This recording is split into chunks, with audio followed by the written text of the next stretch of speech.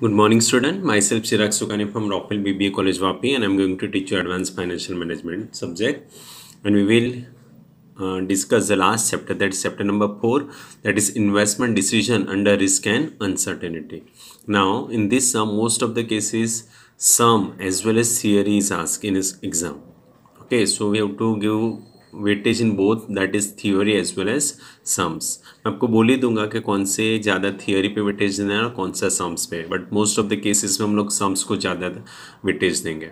Clear so chapter name is what investment decision under risk and uncertainty so first of all you should know what is risk and uncertainty now in general term we already learn that is risk and uncertainty in lower standard that is in economic subject and so on so first of all what is risk कि risk is known generally risk is what known and it can be avoided by taking various actions by various measures just like insurance so best example is what कि risk of fire risk of theft so this risk it is known कि हमारे पास organisation है, हमारे पास manufacturing sector है सो so उसमें fire आग हो सकता है, आग लग सकती है okay so we can avoid this risk uh, by taking the insurance that is fire insurance okay so generally risk क्या होता है कि risk is known and it can be avoided by the various measures as what insurance whereas uncertainties are what कि uncertainties are unknown and it can't be avoided by various measures just less uh, just like insurance okay यानी uncertainties unknown होती है और आप उसको avoid नहीं कर सकते by taking certain insurance okay इस example demand risk government policy change in technology okay consumers taste so these are the certain risk which can not be which is unknown and which can not be avoided clear say example कि मैंने एक uh, मेरी organisation ने one crore का technology ले लिया okay okay? ना वो टेक्नोलॉजी चेंज हो गया उसका रिस्क कोई नहीं देता है. ओके बिकॉज़ ये अननोन है सो टेक्नोलॉजिकल रिस्क को आप इंश्योरेंस लेकर अवॉइड नहीं कर सकते हो। गवर्नमेंट का पॉलिसी चेंज हो गया, आपके ऑर्गेनाइजेशन को शट डाउन करना पड़ा सो so वो टाइप के रिस्क को आप अवॉइड नहीं कर सकते हो। So risk is generally known uncertainties it is unknown and risk can be avoided by taking certain measures whereas uncertainty can not be avoided by taking certain measures okay now in finance term what is risk A risk is what? Risk refers to the situation where probability distribution of the cash flow of an investment proposal is known. It means suppose आप कोई भी proposal में invest करते हो okay okay? ना वो investment किया तो आप एज्यूम कर सकते हो कि मुझे फ़र्स्ट ईयर में इतना कैश फ्लो मिलने के चांसेस फिफ्टी परसेंटेज है ओके फ़र्स्ट ईयर में ट्वेंटी फाइव थाउज़ेंड मिलने के चांसेस थर्टी परसेंटेज है।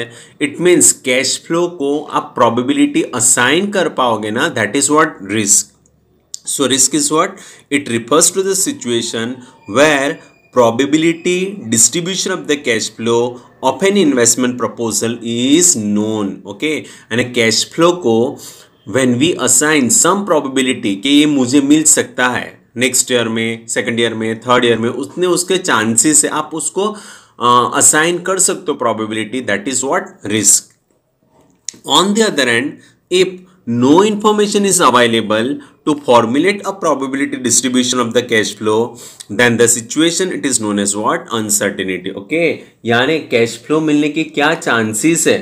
When we are not determine the probability distribution okay okay, आप प्रोबेबिलिटी असाइन नहीं कर पाओगे कितना चांसेस है कैश फ्लो मिलने की।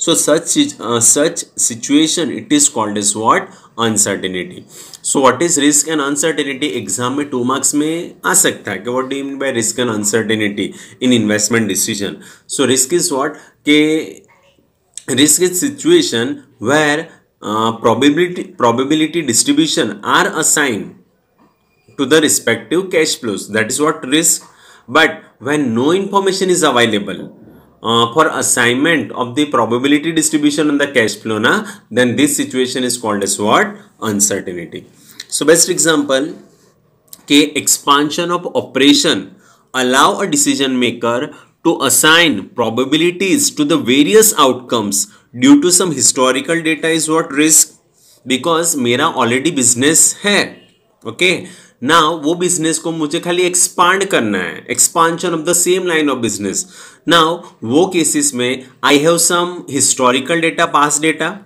okay ना वो पास डेटा को ध्यान में रख के I can assign some probability कि अगर मैंने मेरे बिजनेसेस को एक्सपांसन किया तो मुझे कितना कैश फ्लो मिल सकता है? उसका मैं प्रोबेबिलिटी असाइन कर पाता हूँ। That is called as what risk but in case of diversification or entering into the new business may not allow to assign the probability to the various outcomes. Due to lack of historical data it is what? Uncertainty. But when as a manager i want to entering into the new business or i want to diversify my business into another area so i don't have any historical data. I don't have any past data. So we are not able to assign the probability of the outcomes के क्या होगा और क्या नहीं होगा ना, उसकी probability में असाइन नहीं कर पाता हूँ। Such situation it is called as what uncertainty clear all of you so in short when we assign probability of the cash flow that is what risk but when we are not able to assign the probability of the cash flow then this situation is called as what? Uncertainty. So business ko expansion karna hai. So i have some historical data and on that basis i assign some probability distribution on the cash flow. That is what risk. But in case of diversification or entering to the new business, I do not have any past data. I do not have, have any historical data. So I am not able to assign the probability distribution on the cash flow. Then such situation, it is called as what? Uncertainty. Clear all of you? So might possible this question it is asked in 2 marks. K, what do you mean by risk and uncertainty in investment decision? Clear? Now, next question that is risk measurement और evaluation techniques okay तो ये भी to marks में आ, आ सकता है कि list out the various risk measurement technique और the risk evaluation technique so only we have to list down so there are mainly seven technique that is sensitivity analysis risk adjusted discount rate R A D R approach probability distribution method certainty equivalent method standard deviation and coefficient of variation, decision tree approach and the simulation analysis. So these seven techniques हमको sums भी उसके ही करने हैं जो भी seven techniques है उसके थोड़ी बहुत थियोरी पढ़नी है प्लस सम्स भी करना है से फ़र्स्ट सेंसिटिविटी एनालिसिस उसमें theory plus some risk adjusted discount rate theory plus some probability distribution only sums certainty equivalent method theory plus sums standard deviation and coefficient of variation mainly sums only decision tree approach mainly sums okay but theory भी थोड़ा बहुत पढ़ना है and simulation analysis नहीं करना है because ये नहीं आता है मोस्टली एग्ज़ाम में सो so, ये खाली नाम याद रखना है in case of two marks कि list out various risk measurement technique और risk evaluation technique this are the seven technique sensitivity analysis RADR approach probability distribution, certainty equivalent, standard deviation and coefficient of variation, decision tree approach and the simulation analysis. So, today now हम लोग कोई भी start कर सकते हैं okay so first मैंने start किया है standard deviation in coefficient of variation first technique मैंने ली है standard deviation and the coefficient of variation clear now standard deviation and coefficient of variation मैंने फ़र्स्ट टेक्निक समझाई है। Now first of all what is standard deviation you already learn in statistics okay now in statistical term standard deviation is what difference between an outcome and expected mean value of all outcomes okay statistics नाम है standard deviation is what difference between outcome and expected mean value of all outcomes further in order to calculate the value of standard deviation na we provide weight to the square of each deviation by its probability of occurrence okay? So standard deviation is nothing but difference between outcome and the expected mean value of all the outcome. And in order to calculate the standard deviation we have to assign weight. Weight to the square of each deviation by its probability of occurrence. So here weight is nothing but probability of the occurrence. So it is assumed there are n possible level of cash flow which are signified as cash flow for the one year cash flow for the second year and so on. That is cash flow for the n number of the years.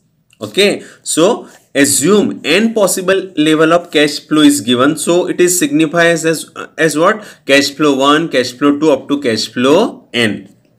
Then the mean of this cash flow it is equal to what? Cf bar now the mean of cash flow is nothing but expected cash flow. It is denoted as what? Expected cash flow. So mean of this cash flow it is equal to the cf bar. That is called as what? Expected cash flow. Then the probability of any cash flow is signified as pi and a probability it is denoted as what? Pi okay? For example the probability of the cash flow 4 is signified as what? Probability in the 4 year and so on okay? Now the formula to calculate the standard deviation are as follow. So standard deviation is what? Under root. Probability 1 into bracket CF1 minus CF, uh, CF bar square plus probability in the year 2 into bracket cash flow in the year 2 minus expected CF uh, expected cash flow that is CF bar square plus up to जितने भी year का दिया होगा that is P N C F N minus C F bar square so ये formula याद नहीं रखना but ये याद रखना सिंपल सा. So standard deviation is what summation T equal to one to N now ये हर एक को ऐड कर देंगे तो क्या आ जाएगा? Summation that is P I into bracket C F I minus C F bar square clear ना in sums probability and the cash flow is given. Based on that first we have to determine the cash flow uh, that is expected cash flow that is cf bar. Then after उसका ये पूरा आपका statistics में आप steps करते थे ना table बनाते थे वैसे आपको पूरा टेबल में बना के कैलकुलेट करना है। सो इजी है that is summation T equal to one to N P I into bracket C F bar C F I minus C F bar square so ये मेज़रमेंट ऑफ़ रिस्क टेक्निक है। So greater the standard deviation of probability distribution the greater is the dispersion of outcome around the expected value it means if the value of standard deviation is high then the risk in that particular project is high okay so greater the standard deviation of probability distribution the greater is the dispersion of outcome around the expected value So, standard deviation is a measure that indicate the degree of uncertainty or dispersion of cash flow and it is one of the most precise measure as a risk. आया समझ में now this is what standard deviation then after is what coefficient of variation so standard deviation can be misleading in comparing the uncertainty of alternative projects if they differ in size Okay यानी उसका cash flow probability सब अलग अलग आ रहा है। If the size of the project is different वो cases में standard deviation may give the misleading picture okay in comparing the uncertainty of alternative project so here the coefficient of variation is a correct technique in such a cases यानी when size of the project is different ना so in comparing this two project standard deviation may provide the misleading picture so in that case coefficient of variation is the correct technique to arrive at a correct decision so formula of covariance is what covariance is what standard deviation divided by expected cash flow so here denoted is what standard deviation C A bar आया समझ में? Now next video में हम लोग उसके sums calculate करेंगे तो आपको क्लियर कट समझ में आएगा। ओके सो यहाँ पे हम लोग फ़र्स्ट एक एक सम से करवाऊँगा, फिर बाद में हम लोग कंबाइंड सम ज़्यादा करेंगे। Clear by take care